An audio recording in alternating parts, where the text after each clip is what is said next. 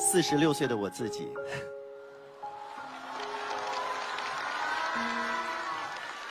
呃，两年一次的金鹰节，两年一次的颁奖晚会，我都在这里。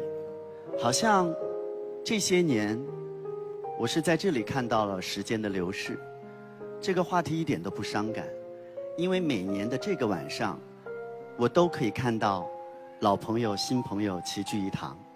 所以，致四十六岁的我自己，我的心愿是：老朋友一直在，新朋友越来越多。